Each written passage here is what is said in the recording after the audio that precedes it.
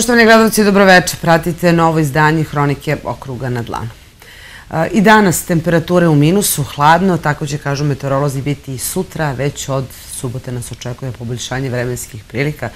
E, Biće prijatnije, kažu, temperature u plusu. Ne nama je u stvari da se uverimo u vremensku prognozu, ali nadam se da to ne remeti neke naše aktivnosti i vaše aktivnosti. U svakom slučaju je sada najprijatnije biti kod kuće u toplom.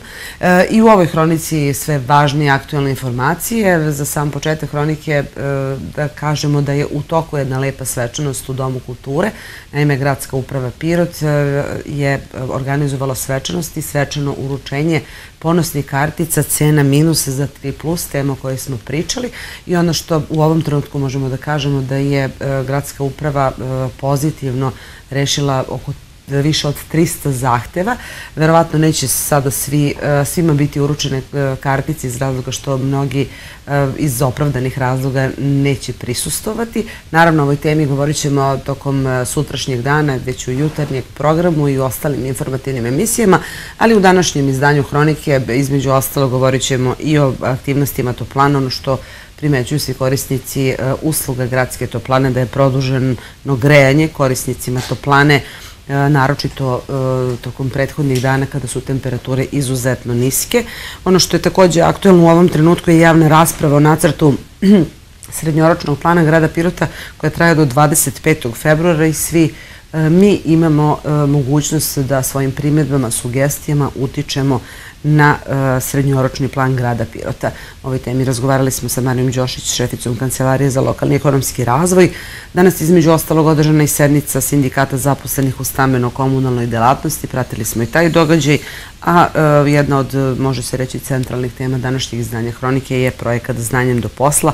Nastavlja se realizacija projekta, a oni koji uh, su direktno uključeni, mislim na stručnjake Job Info centra, oni prate, da kažemo, sve novine i pripremaju se za dalje planirane korake u okviru realizacije ovog projekta. Najavit ćemo naravno sutrašnji početak, zvaničan početak 24. salona knjige i grafike. Zaista imate mnogo razloga da ostanete uz nas u narednih 30 minuta. Počinjemo vestima dana. Produženo grejanje korisnika gradske toplane. Javna rasprava o nacrtu srednjoročnog plana grada Pirota – nastavak realizacije projekta znanjem do posla.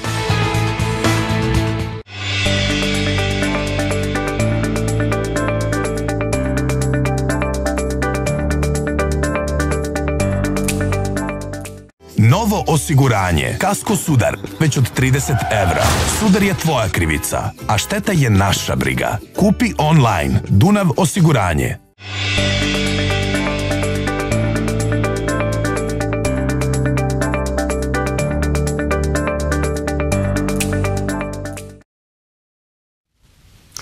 Minulih dana, a i u ovom trenutku imamo temperature u minusu i može se reći da sada osjećamo zimu na pravi način, s obzirom da tamo od novembra do praktično februara nismo imali ovako niske temperature, a zbog niskih temperatura Pirotska toplana je grejala produženo i van plana isporuke toplotne energije, tako će biti i narednih dana dok e, temperature e, budu ovakve. Energenta ima dovoljno, a njegova isporuka je kontinuirana. Iako je grejna sezona počela sa velikim izazovima i strahom da li će biti dovoljno energenta na tržištu i koja će biti njegova cena, Gradska toplana uspešno je završila prvi deo ove grejne sezone. Nema bojazni da će tako biti i do 15. aprila, do kada toplana greje stambeni i poslovni prostor, kaže direktor ovog javnog preduzeća Bratislav Ćirić. Kontinuirana je isporuka prirodnog komprimovanog gasa. Zbog ušteda koje su registrovane, toplana je paušalcima za 5% umanjila januarski račun. Zbog izuzetno niskih temperatura, gradska toplana je grejala produženo i van dnevnog plana isporuke toplotne energije. Mi svakako imamo pravo da kao energetski subjekt u skladu sa spoljnim temperaturama donosimo odluke o, grejnom danu. Ja moram da kažem da poslednjih e, nedelju dana smo izašli iz tog, da kažem, normalnog režima grejanja zbog niskih temperatura. Sad možemo svakom danu pojedinačno, jer svaki dan je bio za sebe, nismo bukvalno grejali dva dana u istom terminu, ali kad god su bile niske temperature grejali smo produženo, nekad do 11, nekad do 12, Svakog jutra smo kretali ranije, nekad sat, nekad dva sata ranije, a sve u, u svrhu da našim korisnicima i ovim izuzetno hladnim danima budu topli stanovi i ja mislim da smo postigli cilj. Pirot je primjer dobre praksi i jedan od redkih gradova u Srbiji koji je prepoznao značaj energetske sanacije stambenih zajednica i individualnih domaćinstava. Zamenom stolarije i fasade zabeležene su uštede od čak 30% u potrošnji toplotne energije, a to se odrazilo i na iznos računa korisnika daljinskog grejenja koji imaju delitelje toplote i kalorimetre.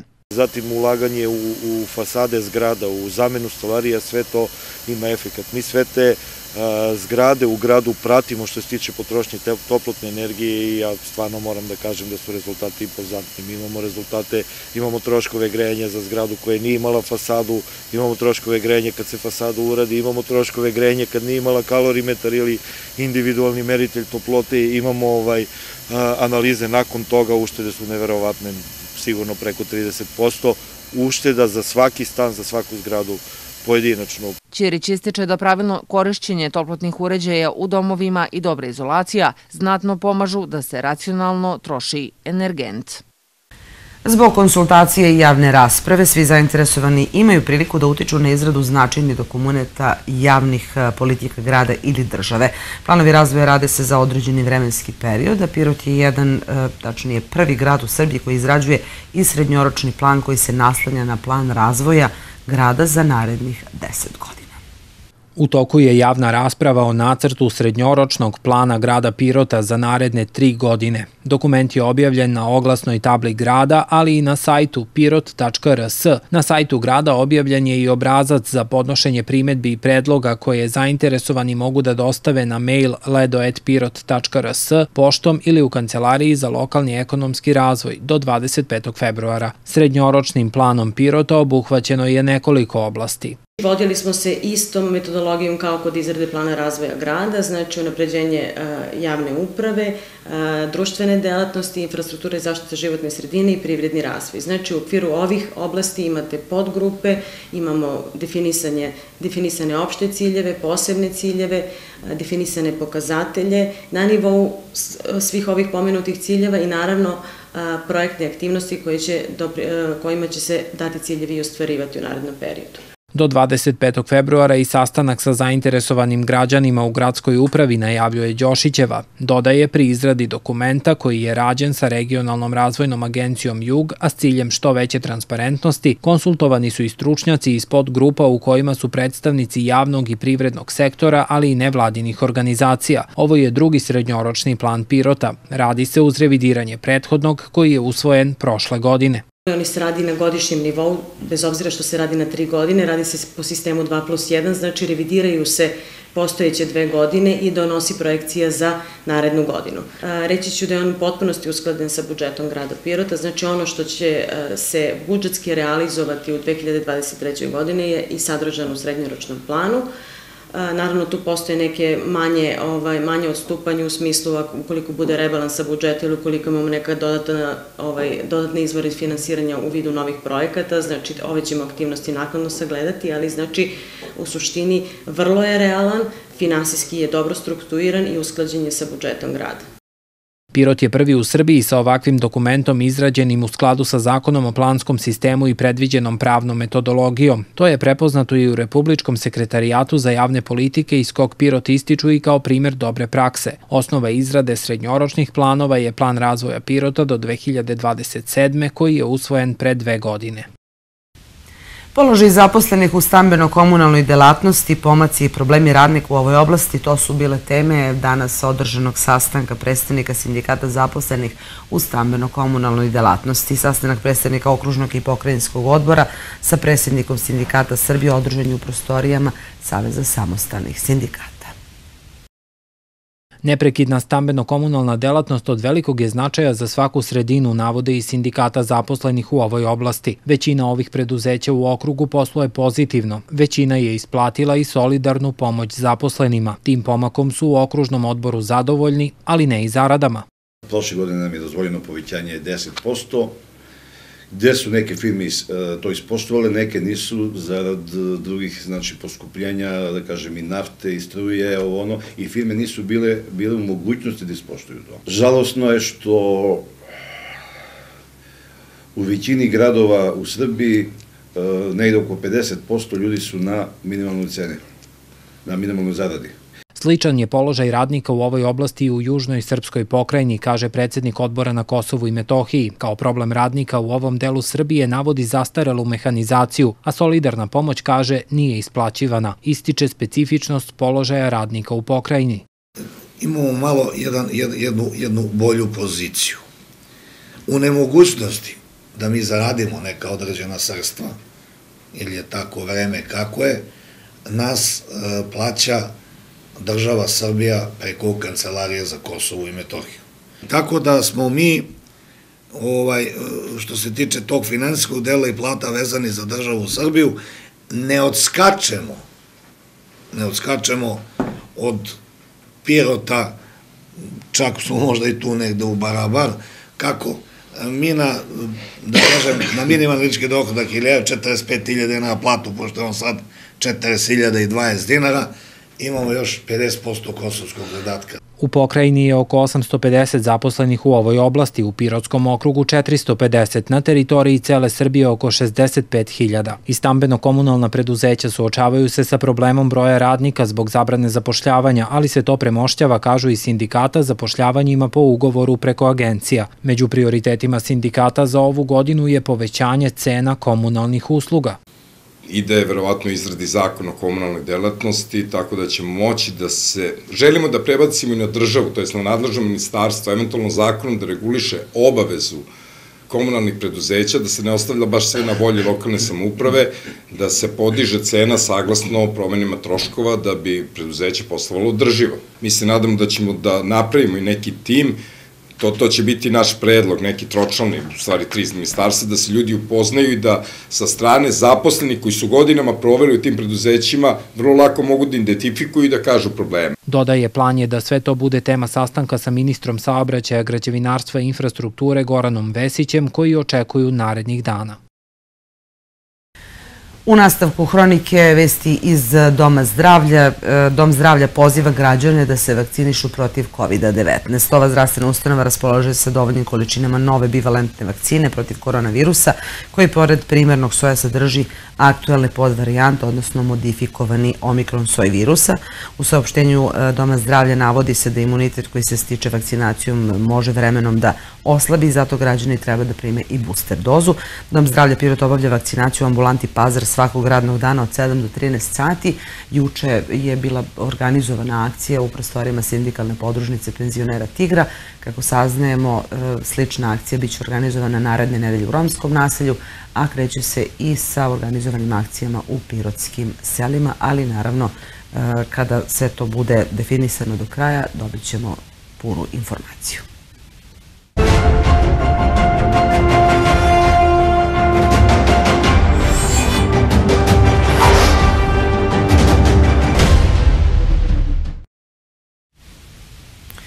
U Pirotu se kroz obuke na radnom mestu, karijerno savjetovanje i vođenje koji realizuje Job Info centar nastavlja realizacija projekta Znanjem do posla. Karijerni savjetnici iz Pirota i drugih gradova u kojima poslaju Job Info centri pohađaju obuke kako bi se bolje pripremili za ono što projekat tek donosi. Ovoj temi ovog prepodneva su kolege razgovarale sa stručnjacima Job Info centra. Javljamo se iz IT trening centra.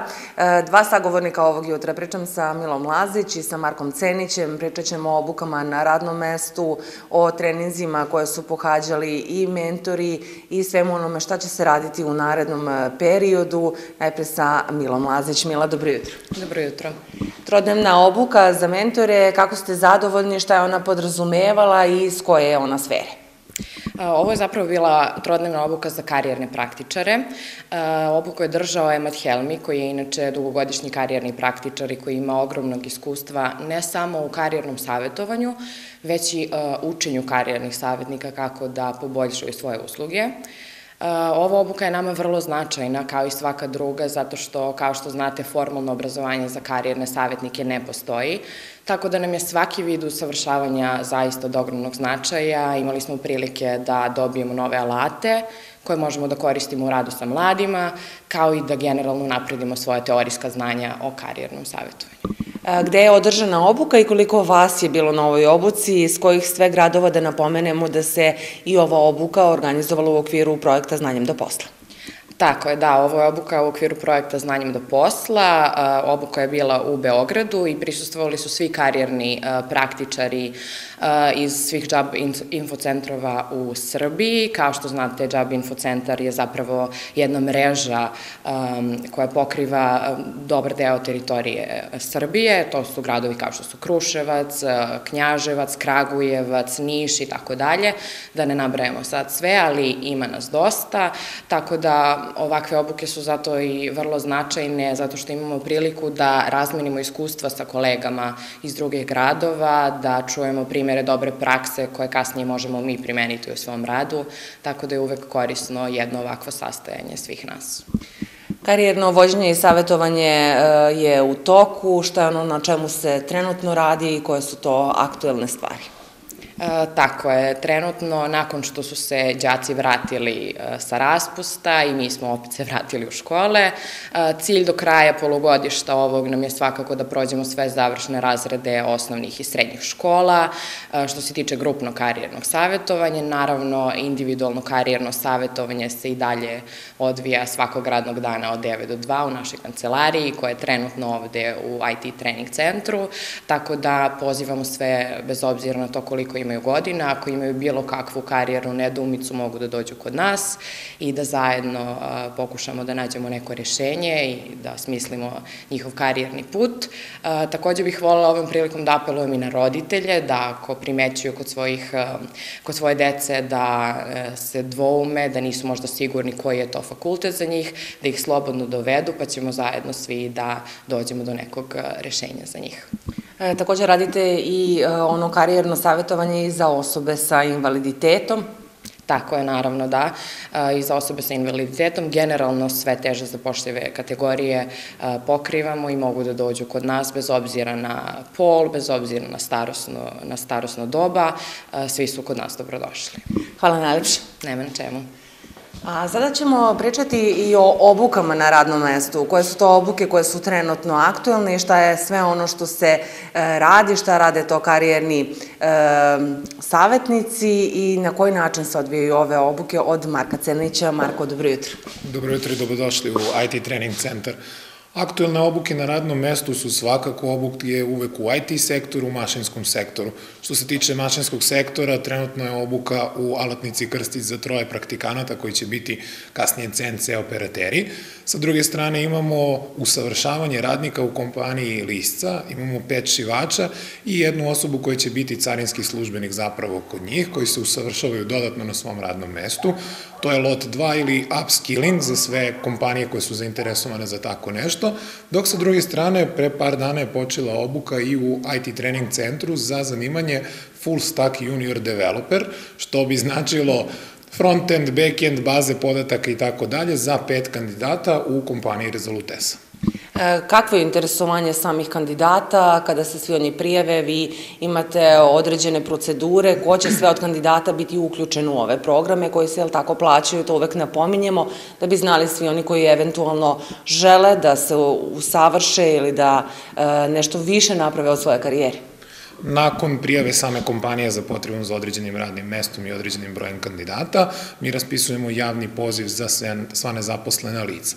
Nakon svih prijava kod nas CV-a, motivacijonog pisma, mi to sve e, pregledavamo, uradimo procenu kompetencija, individualno savjetovanje sa svim kandidatima i izvršimo prvu selekciju kandidata koji bi odgovarali toj obuci i tom radnom mestu. Nakon toga, zajedno sa kompanijom, uradimo još jedan intervju sa svim kandidatima i nakon toga sedimo i izabiramo konkretne kandidate. Moram da napomenem da zapravo poslednju reč ima kompanija oko toga, oko tog izbora. Mi smo tu da napravimo primarnu selekciju i same kandidate pripremimo za razgovor sa poslodavcem. Obuke mogu trajati od 2 do 4 meseca, nakon završetka tog perioda, oni dobijaju sertifikat, odnosno potvrdu da su radili, da su bili na tom radnom mestu, a kao što ste i napomenuli, tokom obuke oni su finansijski podržani, tako da im se i do nekle isplati da dođu, da nauče nešto da rade, a i da zarade u isto vreme. Projekat Znanjem do posla ulazi u onu osmu godinu prema nekim ovim procenama kako se realizuju u Pirotu, ali i u drugim gradovima, kakva je saradnja sa ostalim kolegama, e, šta je praksa pokazala, kako i na koji način e, su zadovoljni u drugim gradovima i da li tamo ima odziva onih koji e, žele da se i karijerno savetuju, da dolaze upravo u infocentre i u ostale trening centre. Kao što ste i napomenuli već osma godina kako radimo, Odlična je saradnja sa svim i starim i novim centrima, moram da napomenem, od ove godine imamo partnere i u Kraljevu, od prošle godine tu je Niš, Požarevac i Šabac, tako da se razvijemo u nekih 8-9 centara u celoj Srbiji da bismo mogli da pokrijemo što veći broj korisnika. Saradnja je odlična i primer dobre prakse kao što je Job Info centar osnovan u Pirotu, zapravo se širi i na druge mreže i druge gradove, tako da možemo da budemo kao neki stub u Srbiji koji će moći da ponudi neko karijerno savjetovanje, obuke na radnom mestu i vid neke usluge. Tako da moram da napomenem da smo se trudili od samog početka da budemo vidljivi, da budemo prepoznati, a to smo, nadam se, i uspjeli u našem gradu. E sad idemo dalje, da Job Info centar zapravo bude prepoznat u celoj Srbiji kao neko ko može pomoći mladima ili bilo kome koji potrazi za poslom. I evo za kraj, Marko, da čujemo samo šta je ono što nas očekuje do kraja godine u okviru ovog projekta, hoće li biti novih javnih poziva kako za kandidate, tako i za firme, za kompanije? Poziv za kandidate uvek stoji, mogu da dođu da se prijave, kao što je koleginica napomenula, da razgovaramo ne samo o upisu u srednje škole, fakulteta, već i svi oni koji su u potrazi za poslom, dok obaveštavam evo ovim putem i poslodavce da je do 23. aprila otvoren poziv za obuke na radnom mestu, tako da mogu da nas kontaktiraju, dođu, porazgovaraju o tome, da vidimo koja radna snaga im je potrebna, kakav profil ljudi, da li možemo obuku da organizujemo ili jednostavno da pokušamo da pronađemo kvalitetnu i kompetentnu radnu snagu. Hvala najlepše na ovom razgovoru. Hvala vama.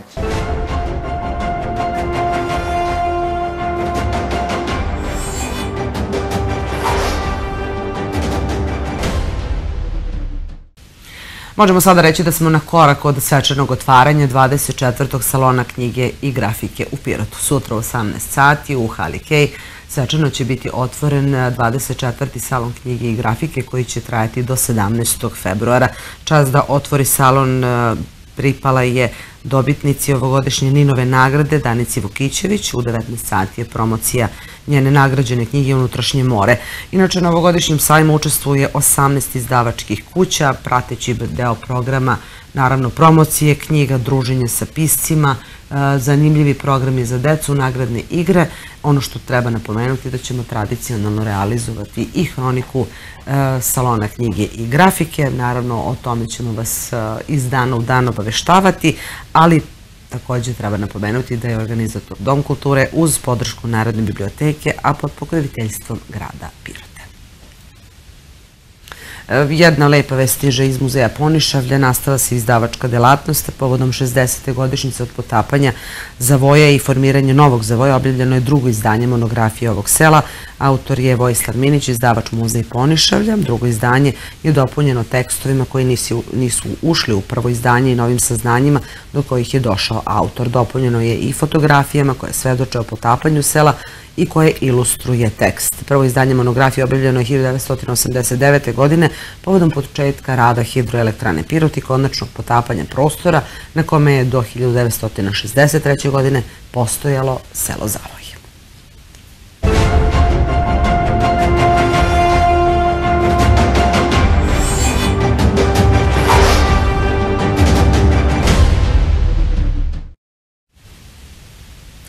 I za sam kraj hronike vam najava jednog lepog e, sportskog događaja e, za sutra u okviru Nacionalne akademije boksa Stanković. Višestruki svetski šampion Nenad Stanković posetit će sutra naš grad i održati javni čas, svojevrsnu demonstraciju boksa kao plemenite borilačke veštine. Ovi događaji bit će u osnovnoj školi 8. septembra od 10 do 11.30, a Stanković je posetio inače više gradova i opština na svojoj turneji, a cilj je popularizacija boksa. Ovo je sa sigurnošću jedna od tema o kojoj govorimo sutra, ali i kao što sam rekla na početku emisije o e, karticama cena minus za 3+. Vidjet ćete kako je bilo na ovoj svečanosti. Ovo su samo neke od tema koje obrađujemo tokom sutrašnjeg dana, a mi se ponovo vidimo u istom terminu u novom izdanju Hronike. Prijetno!